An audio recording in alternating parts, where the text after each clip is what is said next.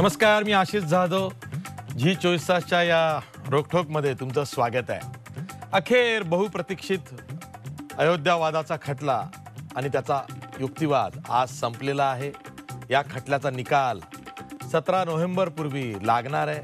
तशी घोषणाच सरन्यायाधीश रंजन गोगोई यांनी केलेली आहे की कुठल्याही परिस्थितीमध्ये सतरा नोव्हेंबरपूर्वी राम मंदिर बाबरी जो वाद आहे तो जो खटला आहे त्याचा निकाल हा सतरा नोव्हेंबरपूर्वी सुप्रीम कोर्ट देणार आहे. प्रश्न असा आहे की या खटल्यामधले जे पक्षकार आहेत त्यावरून सुद्धा वाद आहे.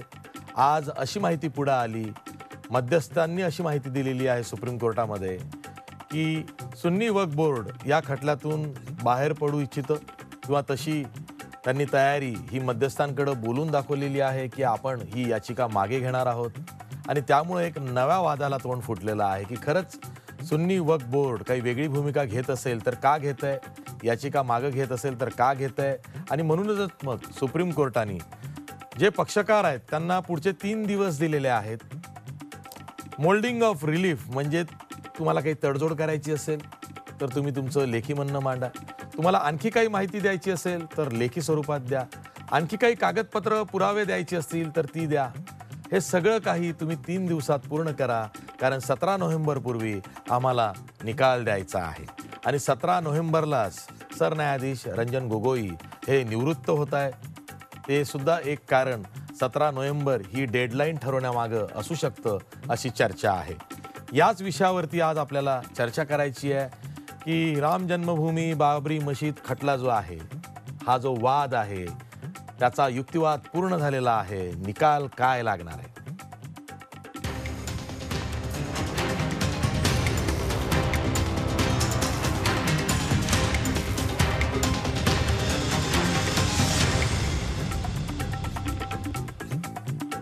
या चर्चेत मान्यवर पाहुणे आपल्यासोबत आहेत. आपल्या स्टुडिओमध्ये ज्येष्ठ गांधीवादी नेते डॉक्टर विवेक कोरडे आहेत. त्याचबरोबर आपल्यासोबत मुस्लिम अभ्यासक शाकीर शेख आहेत. आपल्यासोबत विश्व हिंदू परिषदेचे प्रवक्ते मोहन साळेकर आहेत तसंच आपल्यासोबत काँग्रेसचे प्रवक्ते अतुल लोंढे आहेत. याशिवाय आपल्यासोबत राजकीय विश्लेषक संजय केतकर सुद्धा आहेत. मी सुरुवातीलाच मोहन साळेकर यांच्याकडे जातोय. मोहन साळेकर का कुणास माहिती नाही आहे पण ज्या पद्धतीचा दबाव मधल्या काळात विश्व हिंदू परिषदेपासून राष्ट्रीय स्वयंसेवक संघापर्यंत आणि भाजपपासून तर अनेक हिंदुत्ववादी नेत्यांपासून तर सर्वांपर्यंत. असा एक दबाव तयार केला गेला की जर का सुप्रीम कोर्टाचा निर्णय विरोधात गेला तर वेळप्रसंगी अध्यादेश काढा. पण राम मंदिर हे झालंच पाहिजे. राम मंदिराची उभारणी त्याच जागी वादग्रस्त जागी झालीच पाहिजे. आणि त्यामुळं कदाचित मग सुन्नी वक्फ बोर्ड माघार घेते आहे किंवा सुन्नी वक्फ बोर्डावरती योगी सरकारचा काही दबाव आहे अशा बातम्या यायला लागल्या. आणि आता मध्यस्थ सांगतायत की सुन्नी वक्फ बोर्ड या खटल्यातून बाहेर पडू पाहत आहे तुम्हाला काय वाटतंय? आशिष खरं म्हणजे हा खटला पंधराशे अठ्ठावीसपासून हा संघर्ष सुरू आहे. आणि केवळ न्यायालयीन लढाईचा विचार केला तर एकशे तेहतीस वर्ष ही न्यायालयीन लढाई सुरू आहे. त्यामुळे यापूर्वीच ह्याचा निर्णय व्हायला होता. एकोणीसशे सत्तेचाळीसला आपला देश स्वातंत्र्य झाला. आणि कोणताही देश ज्या वेळेला स्वातंत्र्य होतो त्यावेळेला त्या देशाच्या माथ्यावर असलेलं गुलामीचे चिन्ह तो देश पुसून टाकण्याचा प्रयत्न करतो.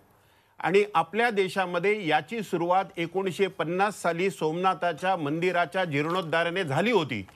आणि तोच कित्ता पुढे सुरू ठेवायला हवा होता. पण दुर्दैवाने या देशामध्ये अल्पसंख्याकाच्या तुष्टीकरणाच्या नावाखाली हा जो श्रद्धेचा विषय आहे तो खूप रेंगाळत राहिला. आपण जे म्हणताय की काही दबाव असेल दबाव असता तर याच्या अगोदरच हा प्रश्न सुटायला हवा होता. खरं म्हणजे ही न्यायालयीन लढाई एवढे वर्ष चालली आणि ती हिंदू समाजाने सहन केली. आज नाही उद्या न्यायालयाचा निर्णय येईल या आशेवर होतं. आणि मला न्यायालयाचं अभिनंदन करायला पाहिजे की त्यांनी म्हटल्याप्रमाणे चाळीस दिवसामध्ये हा सगळा युक्तिवाद करण्याची संधी वेगवेगळ्या लोकांना देऊन वेगवेगळ्या पक्षकारांना देऊन त्यांनी तो चाळीस दिवसात पूर्ण केला. आणि मी अशी आशा करतो की निश्चितपणे येणाऱ्या काही दिवसात आपल्या सगळ्यांना ज्या अयोध्येच्या ठिकाणी जे आमच्या सगळ्या देशवासियांच्या श्रद्धेचं स्थान आहे त्या ठिकाणी भव्य रामाच्या मंदिराचा शुभारंभ झाल्याचं आपल्याला पाहायला मिळेल. दुसरा एक भाग मी आपल्याला या निमित्ताने सांगू इच्छितो. खरं म्हणजे दबाव वगैरे काही नाही. दबाव असता तर या केसमध्ये विलंब लागावा. अशा प्रकारचे सातत्याने प्रयत्न झाले. अगदी एक उदाहरण मी तुम्हाला देईन. दोन हजार एकोणीसच्या निवडणुकीपूर्वी कपिल सिब्बल यांनी या प्रकारचा खटला आहे तो आता स्थगित करावा आणि निवडणुकीनंतर त्या बाबतीतची सुनावणी घ्यावी अशा प्रकारचाही प्रयत्न झालेला आहे. त्यानंतर ज्या वेळेला खंडपीठ उभं केलं त्या खंडपीठामध्ये यू व्ही लळित यांना घ्यायचं असं ठरवलं. पण ते यू व्ही लळित यांच्या नावाला मुस्लिम पक्षकारांनी विरोध केला. हे सांगून की यू व्ही लळित हे कल्याण सिंगांच्या एका केसमध्ये वकील म्हणून उभे राहिलेले होते. तिसरा आक्षेप त्यांनी घेतला की खंडपीठ किती जणांचं असावं? म्हणजे वेगवेगळे आक्षेप घेऊन हिंदूंची न्याय मागणी किती लांबवता येईल आपल्याला ते त्यांनी बघितलं. आणि सर्वात महत्त्वाचं म्हणजे अशी असं आहे की या खटल्यामध्ये मुस्लिम पक्षकारांना हे निश्चित माहिती होतं की या बाबतीत केवळ त्या ठिकाणी नमाज पडला होता याच्याशिवाय आपल्याकडे कोणतेही पुरावे नाहीत. त्यामुळे एक ना एक दिवस आपल्याला याच्यामध्ये माघार घ्यावी लागेल. त्यामुळे ही हरलेली लढाई जेवढे दिवस आपल्याला लांबवता येईल तेवढे दिवस आपण लांबवावी. आणि म्हणून ज्या वेळेला निष्पन्न झालं की आत्ता आपल्या हातात काही राहिलेलं नाही त्यामुळे एक सुन्नी वक्फ बोर्डाने आता असं जाहीर केलं की आम्ही ह्या खटल्यातून माघार घेतो आहोत. त्यामुळे मला असं वाटतं की निश्चितपणे जो काही निर्णय आणि न्यायमूर्तींनी वेगवेगळ्या वेळी त्यांना जे फटकारलेलं आहे त्या फटकारण्यातून त्यांच्या लक्षात आलं की आपण आता हरणार आहोत. अगदी साधं उदाहरण घ्या. आपले राजीव धवन यांनी नकाशा का फाडला? याचा अर्थच असा मुस्लिम पक्षकाराचे वकील आहेत. हो. राजीव हो धवन हो. मुस्लिम पक्षकारांचे वकील राजीव धवन यांनी एक पुस्तक होतं. कमल किशोर यांनी लिहिलेलं. त्या पुस्तकामध्ये ह्या सगळा नकाशा होता राम जन्मभूमीचा. आणि त्या नकाशामध्ये राम मंदिर किंवा रामाचा जन्म कुठे झाला या बाबतीतचे संदर्भ होते. तो संपूर्ण नकाशा भर कोर्टामध्ये तो फाडून टाकला. खरं म्हणजे कंटेम्प्ट ऑफ कोर्ट हे आहे. आणि त्यांच्या विरोधात खरं म्हणजे बाकीच्या पक्षकारांनी कारवाई केली पाहिजे असं मला वाटतं. कारण हा न्यायालयाचा अपमान त्यांनी केलेला आहे. ही त्यांची कृती असं दाखवते की आपण आता ह्या केसमधून हरतो आहोत. आपल्या हाती काही राहिलेलं नाही. ठीक आहे आपल्यासोबत शाकीर शेख आहेत मुस्लिम अभ्यासक आहेत. शाकीर शेख हिंदू पक्षकारांनी काल परवा अशी भूमिका मांडली की बाबरानं मशीद बांधून त्या ठिकाणी ऐतिहासिक चूक केली. ती चूक सुधारण्याची संधी आता मिळाली पाहिजे. पुन्हा राम मंदिर उभारलं गेलं पाहिजे आणि जो दावा आहे की वादग्रस्त जागेपासून सर्वच जागा म्हणजे जवळपास ती सदुसष्ट अडुसष्ट एकर जागा या संपूर्ण जागेवरती रामाचं मंदिर व्हावं आणि मग तोडगा जो काही निघेल त्यात यमुनेच्या काठी असेल किंवा लखनौमध्ये मशिदीला जागा दिली जावी. मध्यस्थांचे प्रयत्न झाले मध्यस्थ हरले कुठलाही तोडगा न्यायालयाबाहेर हा निघू शकलेला नाही. दोन हजार तेरामध्ये सुद्धा तसा प्रयत्न झाला. सुप्रीम कोर्टाच्याच निर्देशानुसार झाला होता. तेव्हाही तो फोल ठरला होता. आणि आतासुद्धा श्रीराम पंचलू यांच्या अध्यक्षतेखालची जी मध्यस्थांची समिती होती. तिनं सुद्धा प्रयत्न करून बघितले पण सर्वमान्य तोडगा कोर्टाबाहेर न्यायालयाबाहेर निघू शकत नाही हे स्पष्ट झालेलं आहे. आता तुम्हाला प्रश्न असा विचारायचा आहे की खरंच बाबराची ती ऐतिहासिक चूक होती मशीद बांधणं? कारण एका मुस्लिम पक्ष पक्षकाराच्या वकिलानं असंही म्हटलेलं आहे की कुठलाही मुस्लिम राजा किंवा बादशाह मंदिराच्या जागेवरती मशीद बांधणार नाही. ही मशीद कशी बांधली गेली हा प्रश्न आम्हालाही पडतो आहे त्यामुळं मशिदीचा दावा करतानाच त्यांनी मशीद पुन्हा उभारावी असाही दावा केलेला आहे किंवा मागणी केलेली आहे. मला तुम्हाला एवढंच विचारायचं आहे. जर का हिंदू पक्षकार असं म्हणत असतील की बाबरानं ऐतिहासिक चूक केलेली आहे तर ती चूक आहे का?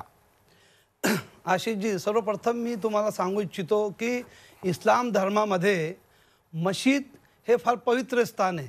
म्हणजे ईश्वराची भक्ती करण्यासाठी सगळ्यात पवित्र स्थान म्हणजे मशीद हे मानले जाते. आणि मशीद बांधण्यासाठी जे काही अटी आहे तर ते अट अशी आहे की मशीदसाठी स्वतः पहिले जागा खरेदी करावी. रीतशीर खरेदी केलेली जागावरच मशिदी बांधावी. अतिक्रमण केलेली किंवा कोणाची हिसकवलेली जमिनीवर मशीद बांधणे हे योग्य नाही कारण त्याच्यावर ईश्वराची भक्ती तुमची होणार नाही. त्यामुळे हे असं आपण म्हणणे की आपण बाबरांनी ते मंदिर पाडून मशीद बांधली त्या गोष्टीमध्ये मला काही तथ्य वाटत नाही. तुम्हाला ज्या इस्लाम ज्या म्हणजे ज्यांच्यापासून ज्याला प्रेरणा मिळाली आणि जे प्रेषित मोहम्मद साडे चौदाशे वर्षपूर्वी आले आणि त्यांनी मक्कामधून जेव्हा ईश्वराच्या आदेशानुसार मदिनेला जेव्हा त्यांनी स्थलांतर केला तर सर्वप्रथम आपलं स्वतःचं घर न बांधता त्यांनी एक जागा विकत घेतली. ते लोक अनाथ मुलं होते पण त्यांना त्यांनी पैसे दिले त्यांची पै जागा विकत घेऊन ते मशीद बांधली. तर मशिदीचा हा इतिहासच आहे की मशीद खरेदी केलेली जागेवर बांधण्यात येते. त्यामुळे मन बाबरांनी मंदिर पाडून मशीद बांधलं. या गोष्टीला काही आता हे कु- किस्सा तर कोर्टामध्ये आहे पण ते योग्य असं वाटत नाही. राहिला दुसरा की कोर्टामध्ये आता हा इश्यू जो चालू आहे सर्वप्रथम आपण हे लक्षात घ्यायला पाहिजे.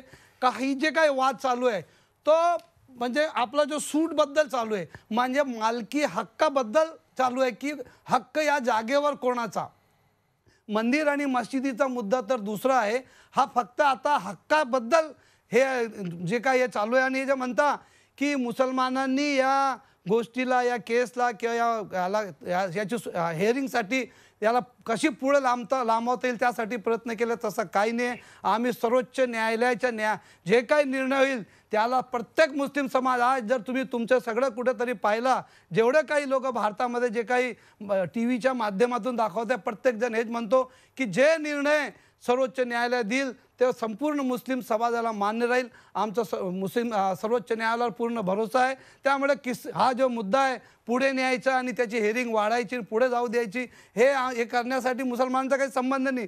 आणि मु- वक्फ बोर्डबद्दल जे बोललं जातं तो वक्फ बोर्ड काय स्वतः हे वीस कोटी मुसलमानांचा हा प्रश्न आहे. वक्फ बोर्ड काय स्वतःच त्याच्यासाठी काय जबाबदार नाही. ते अजून अधिकृतरित्या त्यांनी असे काही कुठे दिलेलं नाही आहे हे कोर्टाच्या बाहेर रुमर किंवा काय अफवा पसरवली जात आहे. त्यामुळे त्या गोष्टीमध्ये काही तथ्य वाटत नाही. ठीक आहे. आपल्यासोबत डॉक्टर विवेक कोरडे सुद्धा आहेत. मला त्यांच्याकडे एका वेगळ्या मुद्द्याला घेऊन जायचं आहे सर जे ॲडव्होकेट राजू धवन आहेत मुस्लिम पक्षकाराचे वकील त्यांनी काल प्रतिवाद करताना असं म्हटलेलं आहे की भारत स्वातंत्र्य झाला एकोणीसशे सत्तेचाळीस आणि त्यानंतर भारत गणराज्य झाला. तो जो मधला काळ आहे एकोणीसशे सत्तेचाळीस ते एकोणीसशे पन्नास या दरम्यानच ची जी परिस्थिती आहे ती गृहीत धरली पाहिजे. आज कोणताही निवाडा करताना. त्या आधी बाबरानं काय केलं नंतर काय झालं अशी परिस्थिती विचारात घेऊ नये. भारत जेव्हा स्वतंत्र झाला तेव्हा काय परिस्थिती होती त्या परिस्थितीला वस्तुस्थिती मानून तुम्ही निर्णय घ्या असं आवाहन त्यांनी सुप्रीम कोर्टाला केलं आहे तुम्हाला पटतं आहे बरोबर आहे. त्याच्यात न पटण्यासारखी कुठली गोष्ट आहे असं मला वाटत नाही. याचं कारणच असं आहे की आपण जे एकोणीसशे सत्तेचाळीस साली पंधरा ऑगस्टला स्वतंत्र झालो त्यावेळेला हा देश हिंदू राष्ट्र नव्हतं किंवा मुस्लिम राष्ट्र नव्हतं. उलट जी दोन राष्ट्र आहेत असा दावा करून एकमेकांशी लढत होती त्या दोघांचाही पराभव करून आणि त्यासाठी फाळणीसारखी एक अप्रिय घटना स्वीकारून आपण एका सेक्युलर स्टेटमध्ये प्रवेश केला होता. त्याच्यामुळे जे ॲर्ग्युमेंट धवन यांनी केले ते एकशे एक टक्के बरोबर आहे. आता सवाल इथे जे मुद्दे मांडले गेले त्याच्यावरती आपण येऊया. ठीक आहे? या इथे जमाते इस्लामीचे जे प्रवक्ते आहेत त्यांनी आम्ही न्यायालयाचा निर्णय मान्य करू कुठलाही आला असं म्हटलं. असं काही विश्व हिंदू परिषदेच्या कुठल्या नेत्याकडून आपण ऐकलेलं नाही आहे आणि ह्याच्यातली एक वस्तुस्थिती आपण कधीही विसरता कामा नये. की मगाशी त्यांनी सांगितलं की पंधराशे अठ्ठावीसपासून एकशे तेहतीस वर्ष हा खटला न्यायालयात प्रलंबित होता. हे माहीत असतानाही या लोकांनी ही बाबरी मस्जिद पाडली तिकडची. ही गोष्ट खरी आहे आणि याचे तीन अर्थ होतात. याचा पहिला अर्थ असा होतो की या लोकांचा न्यायालयावर विश्वास नाही. जर न्यायालयावर विश्वास असता तर एवढी वर्ष थांबले तसे आणखीन पन्नास वर्ष थांबले असते तरी काही बिघडलं नसतं यांचं. याचा दुसरा अर्थ असा आहे की यांचा रामावरही विश्वास नाही.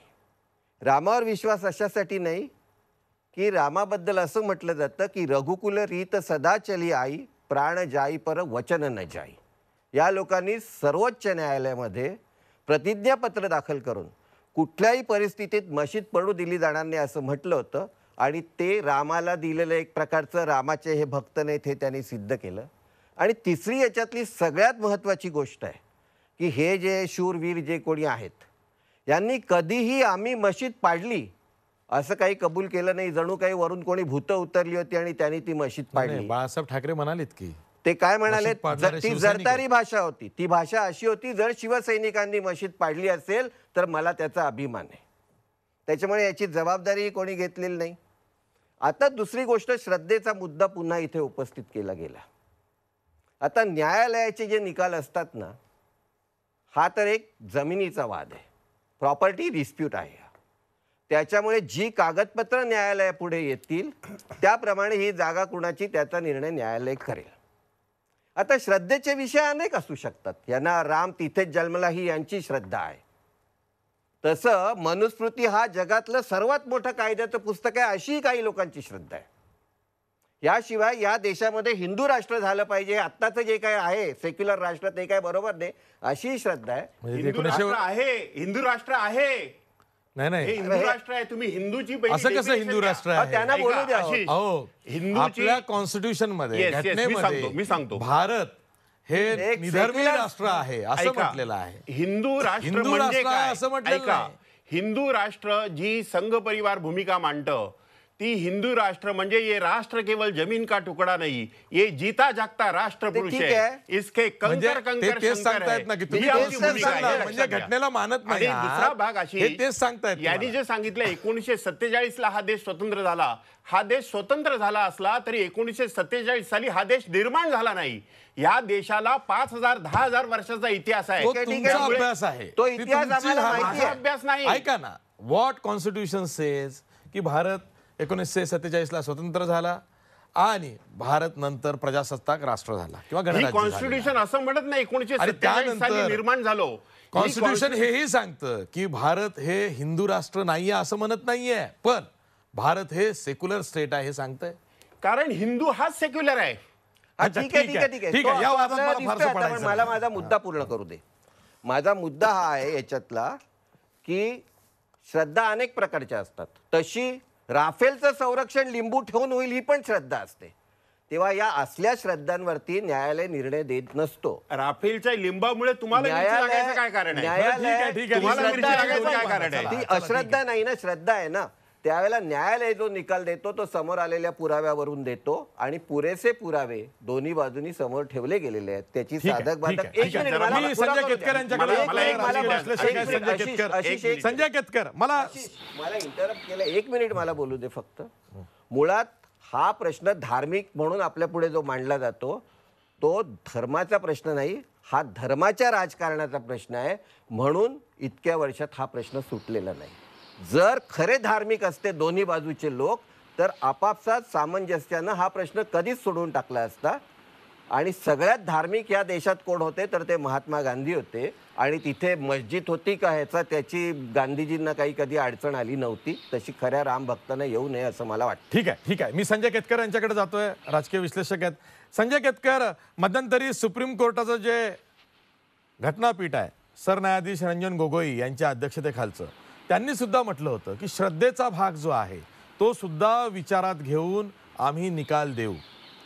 या हे जरी टायटल सूट असेल हा खटला जरी हा दिवाणी खटला असेल जमिनीच्या मालकीचा वाद असेल तरी सुद्धा धार्मिक श्रद्धा जी आहे ती मग हिंदूंची असू दे किंवा मुस्लिमांची असू दे ती आम्ही विचारात घेऊ. असं सरन्यायाधीश रंजन गोगोई म्हणाले होते. आणि आता तेच सरन्यायाधीश म्हणतायत की पुढच्या तीन दिवसात रिलीफ ऑफ मोल्डिंगमध्ये तुम्हाला जी जी काही बाजू मांडायची आहे जे जे काही सांगायचं आहे ते सगळं काही लेखी स्वरूपात एकदाचं मांडा पूर्ण करा. सतरा नोव्हेंबरपर्यंत आम्हाला निकाल द्यायचा आहे. यावरनं सुप्रीम कोर्टाची भूमिका ही इतकी स्पष्ट आहे की खूप झालं आता निकाल आला पाहिजे हे सुप्रीम कोर्टाचंच म्हणणं आहे.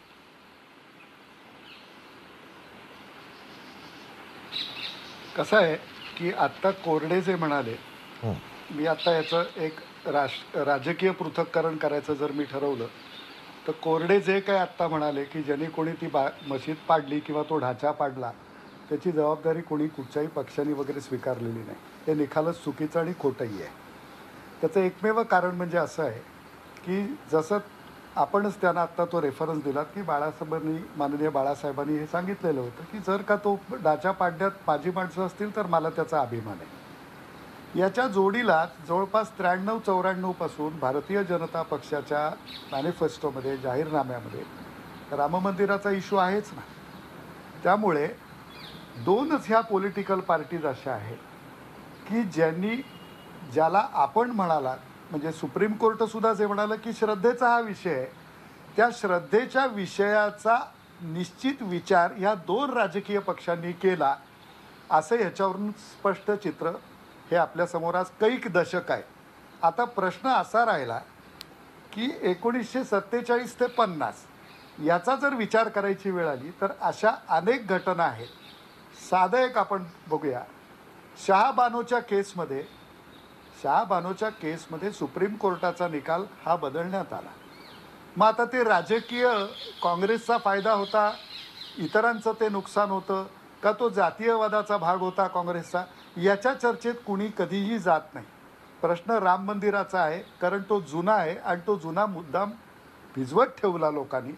आणि असे जे स्वतःला एक सेक्युलर समजणारे लोक आहेत त्यांच्यामुळे एकूणच राजकीय परिस्थिती देशाची काँग्रेसलाही यातनं भोगावं लागलं संघालाही भोगावं लागलं भारतीय जनसंघाला भोगावं लागलं शिवसेनेला भोगावं लागलं.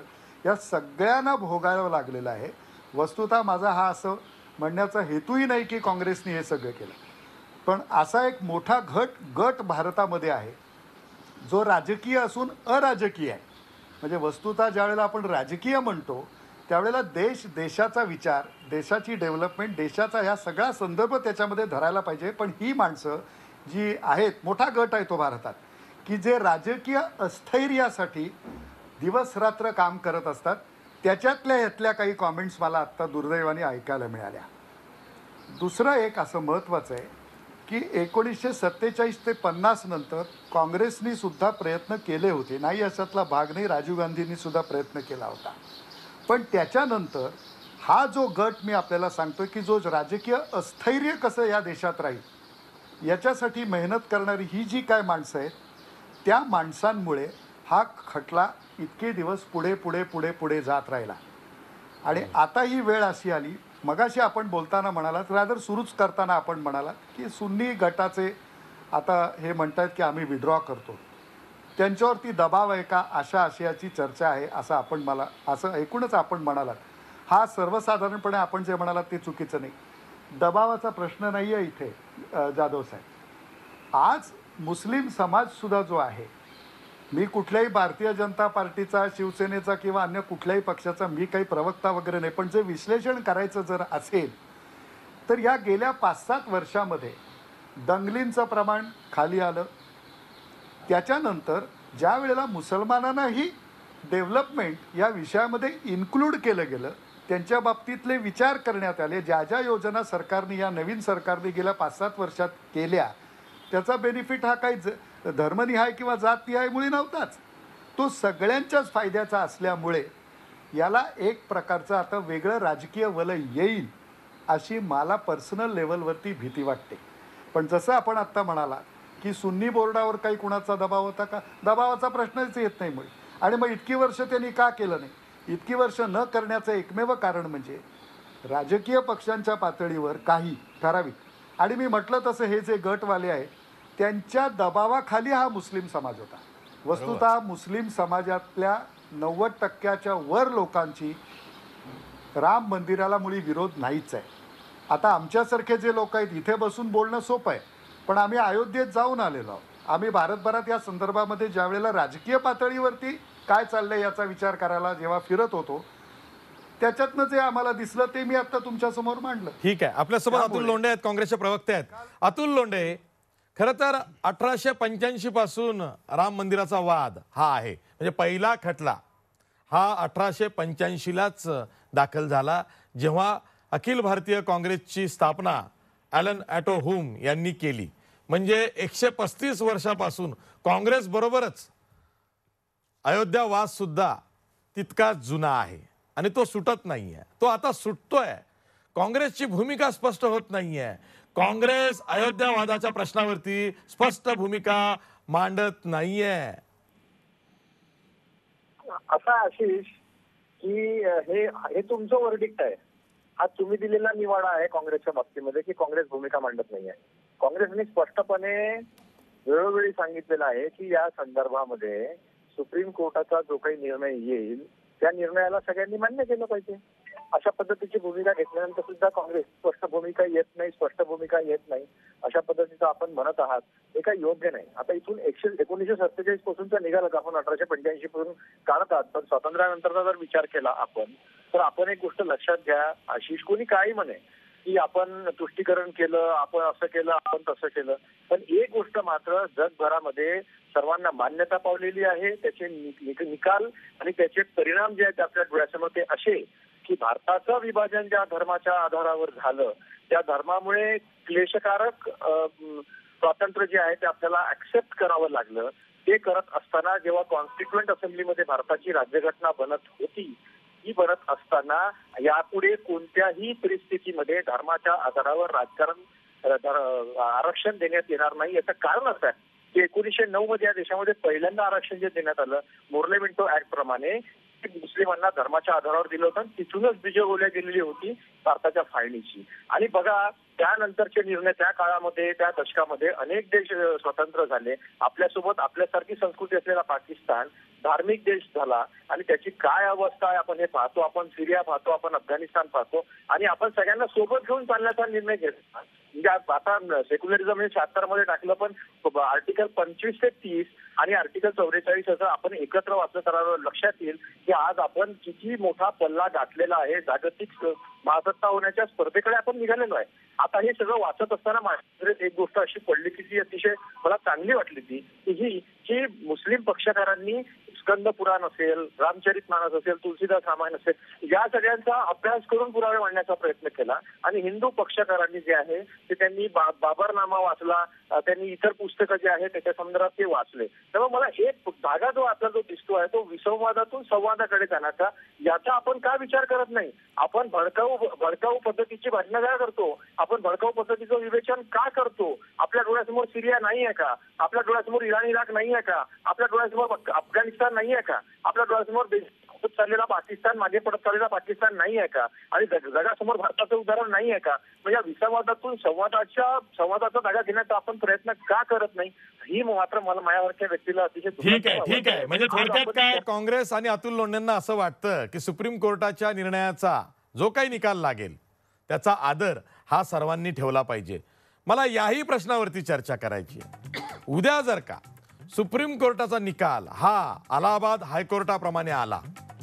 सर्वांना खुश करण्याचा प्रयत्न यातून झाला. दोन तृतीयांश दोन तृतीयांश दोन तृतीयांश असे तीन तुकड्यांमध्ये जमिनी वाटप करून अलाहाबाद हायकोर्टानं दोन हजार दहा मध्ये तो निर्णय दिला होता.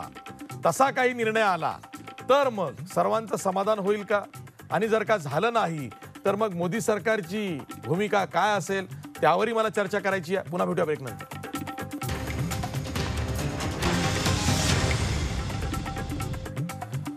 ब्रेक नंतर पुन्हा तुमचं स्वागत. आपल्यासोबत मोहन साळेकर आहेत. विश्व हिंदू परिषदेचे प्रवक्ते आहेत. मोहन साळेकर जर का उद्या अलाहाबाद हायकोर्टाप्रमाणेच निर्णय आला ज्या निर्णयावरती तुमचंही समाधान झालं नाही विश्व हिंदू परिषदेचं निर्मोही आखाड्याचंही झालं नाही रामलल्लाचंही झालं नाही आणि मुस्लिम पक्षकारांचंही झालं नाही तर पुढं काय? किंवा निर्णय बाबरी मशिदीच्या बाजूनं लागला की जैसे थे परिस्थिती निर्माण करा असा काही लागला तर मग? आशिष निर्णय काय लागेल त्याच्याबद्दल आज मी चर्चा करू शकत नाही कारण तो न्यायालयीन प्रश्न आहे. पण काही संकेत असतात. एखादा खटला ज्या वेळेला चालतो त्यावेळेला काही संकेत आपल्यासमोर येत असतात. ते संकेत असे आहेत. संकेत क्रमांक एक. दोन हजार दहामध्ये अलाहाबाद हायकोर्टाने जो निर्णय दिला होता त्याच्यामध्ये स्पष्ट म्हटलं होतं जी जागा रामाचं जन्मस्थान आहे ते आम्हाला मान्य आहेत. म्हणजे एक. त्यावेळेला तरी तीन भाग केले पण जन्मस्थान म्हणजे रामललाच्या मूर्ती तिथेच राहतील आणि तो भाग रामललाला दिला पाहिजे असं जाहीर केलं. दुसरं दोन वेळा उत्खनन झालं एकोणीसशे पंच्याहत्तर शहात्तरमध्ये आणि त्या उत्खननामध्ये एक जे तिथले अधिकारी होते त्यांचं नाव आहे के के मोहम्मद. आणि त्यांनी टाइम्स ऑफ इंडियामध्ये म्हणजे संघाच्या मुखपत्रात नाही टाइम्स ऑफ इंडियामध्ये मोठा लेख लिहून हे स्पष्ट केलेले आहे की त्या ठिकाणी शंभर नव्हे दोनशे टक्के मंदिराचे अवशेष मिळालेले आहेत. हे एकोणीसशे पंच्याहत्तर शहात्तरची गोष्ट आहे. त्यानंतर दोन हजार तीनमध्ये जे उत्खनन झालं त्यावेळेला त्याची व्हिडिओग्राफी पण करण्यात आली. आणि त्याच्यामध्ये सुद्धा हे सिद्ध झालं की या ठिकाणी मस्जिद बांधण्यापूर्वी किंवा बाबरी ढाचा उभा करण्यापूर्वी त्या ठिकाणी मंदिर होतं. या दोन गोष्टी. तिसरा भाग आत्ता जे काही राजीव धवन यांनी तक्रार केली न्यायालयामध्ये की तुम्ही सगळे प्रश्न मुस्लिम लोकांना का विचारताय? तुम्ही बाकीचे प्रश्न हिंदू पार्टीला का नाही विचारत? आता ही जी बॉडी लँग्वेज आहे ही जी देहबोली आहे हे जे त्यांचे शब्द आहेत ते शब्द असे दाखवतात की निकाल काय लागणार आहे हे निष्णांत वकिलाला पहिलं कळतं. हा तिसरा भाग. त्यातून तुम्ही म्हणताय तसं झालं तर आम्ही पूर्वीपासून विश्व हिंदू परिषद मागणी करतो की हा मंदिर आणि मस्जिदीचा प्रश्न नाही. मुसलमानांसाठी अयोध्येमध्ये पन्नास ते साठ मस्जिदी आहेत. कारण नमाजाचा विषय हा एका विशिष्ट जागेशी निगडीत नाही. आम्ही ट्रेन मधून. अयोध्येमध्ये रामाची सुद्धा. मी जाऊन हो ना, आठ हो दिवस ना. होतो. हो शंभर एक मंदिर आहेत. होय. आणि प्रत्येक जण दावा करतो रामाचा. जन्म इथे झाला. कण कण में बसे है राम म्हणतो. प्रत्येक हा जन्म इथे. झाला. हा जन्मभूमीचा मुद्दा आहे. मंदिराचा असता तर आम्ही एवढं भांडलोही ठीक आहे ठीक आहे. हा जन्मभूमीचा शाकीर मुद्दा आहे. शेख मला प्रश्न असा विचारायचा आहे की पंधराशे अठ्ठावीस ला मीर बाकीनं ती बाबरी मशीद बाबराच्या निमित्तानं बांधली. त्यानंतर ती मशीद पाडली गेली असं तुम्ही म्हणताय. पण जेव्हा सुप्रीम कोर्ट म्हणतंय की यामध्ये श्रद्धेचा भाग आहे it's not only title suit हा केवळ जमिनीच्या मालकीचा वाद नाही आहे हा दिवाणी जरी खटला असला तरीसुद्धा या श्रद्धासुद्धा विचारात घ्यावी. आणि बहुसंख्याक हिंदूंचा विचार करून जर का सुप्रीम कोर्टानं उद्या निवाडा केला तरीसुद्धा तुम्ही हे म्हणाल की नाही हा जमिनीच्या मालकीचा वाद होता. आम्हाला फक्त एवढंच सांगा की बाबरी मशिदीचं काय? हे बघा निर्णय आता जे काही चालू आहे जे काही तपासणी झाली किंवा जे काही पेपरची तवा हे काय सगळं उलगाडा झाला. तर हा फक्त आता याच्यासाठीच झालेला आहे की मालकी कोणाची आहे? मला तरी असं वाटतं. आणि जे काय निर्णय येईल सर्वोच्च न्यायालयाचा तो मालकी हक्काचा मुद्दा असल्यामुळे मालकी हक्काचाच येईल केवळ मालकी आणि हक्काचा आपण जे म्हणतो- सुप्रीम कोर्टाने हा आणि हे श्रद्धेचा भावनेचा विषय हे जाहीर हे भावना साहेब हा देश एकशे तीस कोटीचा देश आहे त्याच्यामध्ये वीस कोटी मुसलमान सुद्धा आहे. आणि जे राजा असतो किंवा जे राज्यकर्ता असतो तो प्रत्येकाचा प्रत्येकाला न्याय कसा मिळेल? म्हणजे तुम्हाला असं म्हणायचं आहे का की जेवढा हिंदू भारतीय आहे तेवढाच मुस- मुसलमान सुद्धा भारतीय आहे भारतीय भारताचा. नागरिक आहे त्याला. पूर्ण अधिकार आहे पूर्ण अधिकार आहे आणि ज्या वेळेला पाकिस्तानची फाळणी झाली आणि जे मुसलमान तिथे राहिले आहे इथे त्यांनी सगळे ऑप्शन सोडून सगळे विकल्प सोडून ते इथे राहिलेले आणि ते वडलो पारजी तिथे राहत आहे या देशाची सेवा करताय प्रत्येक डिपार्टमेंटमध्ये प्रत्येक ठिकाणी सीमेवर लढणारे सुद्धा तर मोठे ए पी जे कलाम साधे सारखे सायंटिस्ट सुद्धा मुसलमान राहिलेले आहे. त्यामुळे तुम्ही त्यांना दुटप्पी भूमिका कशी करू शकता ठीक आहे आपल्यासोबत म्हणजे- संजय केतकर मी संजय केतकरांकडे हा प्रश्न घेऊन जातोय. संजय केतकर तुम्ही ऐकताय. मला प्रश्न एवढाच विचारायचा आहे की जर का जमिनीच्या मालकीच्या वादाचा खटला असेल आणि त्या सुप्रीम कोर्ट म्हणत असेल तरीही श्रद्धेचा भाग असला तरीही जर का उद्या न्यायनिवाडा करताना मूळ जमिनीच्या मालकीचा वाद गृहीत धरूनच निकाल दिला गेला तर सर्वांचं समाधान होऊ शकेल का? निर्णय काय लागू शकतो? याची काही चुणूक काही संकेत तुम्हाला मिळाले आहेत का? संकेत म्हणजे तसं स्पष्ट आहे जाधव साहेब की आत्ताच एक दोन तासापूर्वी सुन्नी समाजातर्फे सुद्धा विड्रॉल घेण्यात आली.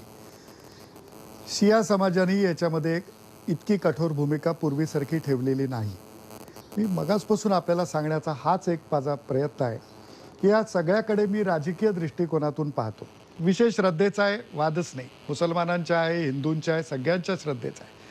पण प्रश्न ज्या वेळेला नेऊन कुठेतरी फिरवून देशाच्या हिताच्या संदर्भामध्ये निघतो त्यावेळेला यांच्यापैकी कुणीही बोलत नाही. कारण अस्थैर्य राजकीय ठेवणं अशा जो गट मी मगाशी म्हणालो तसंच मी एकच फक्त मी डेव्हिएशन करत नाही आहे विषयाचं. काश्मीरी पंडितांना ज्या वेळेला तिकडनं हाकलण्यात आलं त्यांच्यावरती आनंदवित अत्याचार झाले त्यावेळेला यांच्यापैकी अहिंसेचं कार्ड सतत खिशाला लावून फिरणारे कुठे गेले होते हो त्यावेळेला? कारण त्यांना माहिती होतं की याच्यात हे राजकीय अगदी अस्थिरता बरोबर. उत्तर निर्माण देतो होणार. ना हो हो हो. कोरडे उत्तर द्या कोरडे उत्तर द्या. त्यामुळे ऐका ऐका. त्यामुळे- संजय केतकर? कोरडेंना उत्तर द्यायचं. ना आहे. कुठली हिंसा ही वाईटच असते आणि प्रत्येक हिंसेचा आम्ही निषेध केलेला आहे. पण तेव्हा तोंडाला कुलूप लावून बसला होता. मी म्हणतोय काश्मीरमध्ये कुलूप लावून बसला होता तेव्हा. अहो काय बोलताय? कशावरून तुम्ही बोलताय तोंडाला. कुलूप लावून बसला होता. त्यांना बोलू द्या ना. ह्याला काय अर्थ आहे काय बघा मी तुम्हाला पहिल्यापासून मी. महात्माजींचं एक मिनिट. जाधव साहेब महात्माजींचं नाव घेऊन ही माणसं समाजामध्ये फिरतात. महात्मा गांधीजींचा विश्वास सत्याग्रहावर होता उपोषणावर होता. त्यावेळेला हे लोक जाऊन का नाही बसले ठीक आहे, ठीक आहे. वेशीवर? कोरडे की उत्तर द्या. नाही इथून कोरडे उत्तर द्या. देशामध्ये काहीतरी अस्थैर्य निर्माण करण्याकरता हे असे असंख्य लोक उभे आहेत वास्तविक हिंदू आणि मुसलमानांच्यात कुठल्याही मला असं वाटतं की. या देशामध्ये जे अस्थैर्य निर्माण झाले ना विश्लेषण करताना मी ती बाबरी. मस्जिद पाडल्यापासून मुद्दाम जाणीवपूर्वक सत्तेत बसण्यासाठी अस्थैर्य निर्माण केलं.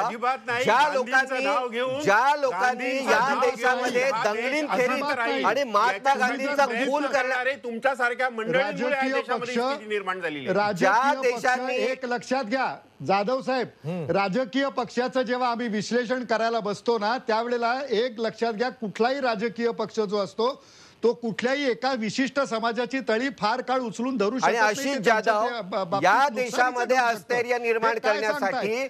या तथाकथित? हिंदुत्ववाद्यांनी महात्मा गांधींना मारलं आणि शिवसेनेला तथाकथित हिंदुत्ववाद्यांनी. बाबरी मस्जिद उद्ध्वस्त केली हे. पाप या देशामध्ये अस्थैर्य निर्माण करण्यासाठी केलेलं आहे, आणि. एक मिनिट हे काय म्हणतात एक वाक्य बोलू द्या हे काय म्हणतात हा एक संवेदनशील खटला आहे त्यामुळं एक तारतम्य डेकोरम हे चर्चेतसुद्धा पाळायचं आहे. बघा सामाजिक ताण निर्माण होईल समाजात तेढ निर्माण होईल असं काही होता कामा नये. तशी चर्चासुद्धा होता कामा नये. भारत हे पुरोगामी राष्ट्र आहे धर्मनिरपेक्ष राष्ट्र आहे.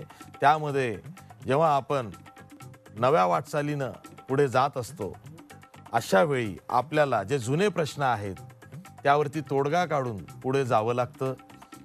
एकशे पस्तीस वर्ष जुना वाद आहे. जर का सुप्रीम कोर्ट येत्या तेवीस दिवसांमध्ये यावरती तोडगा काढू पाहत असेल आणि सुप्रीम कोर्ट सरन्यायाधीश हे सांगत असतील की होय आम्हाला निकाल द्यायचा आहे तर तो सर्व पक्षकारांना सर्व भारताला आणि सर्व समाजाला मान्य झाला पाहिजे. त्या उपरसुद्धा काही होऊ शकतं का? याचीसुद्धा आपण चाचपणी करणार आहोत. पुन्हा भेटूया ब्रेकमध्ये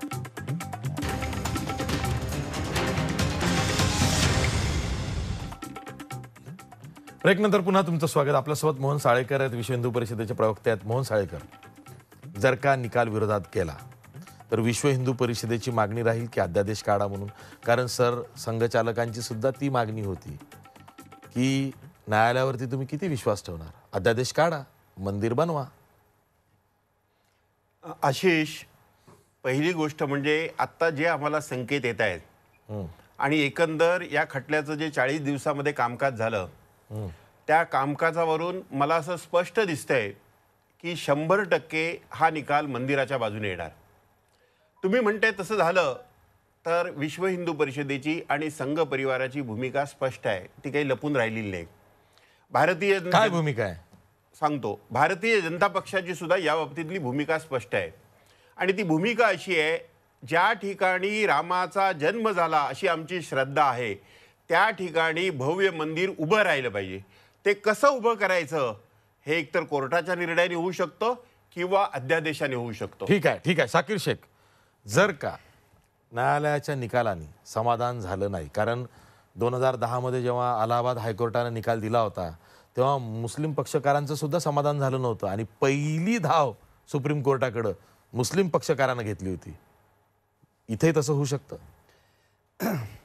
पहिली गोष्ट तर आम्हाला म्हणजे दाट असा आम्हाला भरोसा आहे की निकाल आमच्या बाजूने लागेल. कारण बाजूचा प्रश्न नाही आहे तिथे मशीद होती आणि मंदिराचा काही प्रश्नच नाही तर मशिदीच्या बाजूने निकाल लागेल आणि ते आम्हाला मान्य राहील आणि ते सगळ्यांनी मान्य करायला पाहिजे. देशाची ऐक्यता ठेवण्यासाठी हे पा मु हे बहुरा म्हणजे हिंदू लोक जास्त आहे तरी त्यांनी मुसलमानांना सामावून घेण्यासाठी आणि हे लोक आपल्या देशात पाकिस्तानला न जाता इथे राहून गेले आणि त्यांनी इथे राहून राह राहणं पसंत केलं. का पसंत केलं? की इथे सगळं धर्मियांना सगळ्या सारखे सगळ्यांना ट्रीटमेंट होती त्यामुळे ते इथे राहिले. म्हणजे भारत शेवटपर्यंत सेक्युलर सेक्युलरच राहायला पाहिजे अशी आमची अपेक्षा आहे. आणि ते सेक्युलरच राहीलच. ते काही शेवटी शेवटी. शेवटी. रामराज्य. गांधीजींना अपेक्षित होतं. तो वेगळ्या अर्थानं भाजपला अपेक्षित आहे. तो भाग वेगळा. न्यायालयाचा निवाडा हा सर्वमान्य असेल असा विश्वास वाटतोय का? आणि तो जर का निवाडा तशा पद्धतीनं आला तर तो सर्वांना समाधानकारक असेल का? आणि नसेल तर मग पुन्हा हा प्रश्न शांत होण्याऐवजी चिघळेल का? आणि जर का यातनं खरंच परिस्थिती शांत होत असेल तर मग न्यायालयाचा निकाल का नको? नाही मला असं वाटतं की न्यायालयाचा निकाल जर सर्वांनी जर बंधनकारक मानला तर त्याच्यातून कुठल्याही प्रकारची अशांती निर्माण होऊ नये असं मला वाटतं. ठीक आहे. एक मिनिट. न्यायालयाचा निर्णय हा मगाशी मगाशी जे असं इथे म्हटलं गेलं की मुसलमानांना आता विकासामध्ये सहभाग करून घेतलाय जो पक्ष असं म्हणतो की आम्हाला मुसलमानांच्या मतांची गरज नाही त्याच्यामध्ये मुसलमानांना विकासात सहभाग करून म्हणणं असं विधान करणे फार धाडसी आहे असं ठीक आहे. ठीक आहे ठीक आहे ठीक आहे. प्रश्न असा आहे की राम जन्मभूमी बाबरी मशिदीचा वाद जो आहे त्याचा जो खटला आहे त्याचा अंतिम निवाडा अंतिम निर्णय हा सतरा नोव्हेंबर पूर्वी सुप्रीम कोर्टात लागणार आहे. तशी घोषणा आज झालेली आहे. पुढच्या तीन दिवसात मोल्डिंग ऑफ रिलीफमध्ये ज्या ज्या पक्षकारांना जे जे म्हणणं मांडायचं आहे त्यांनी ते लेखी स्वरूपात लेखी पुरावे देऊन मांडायचे आहे.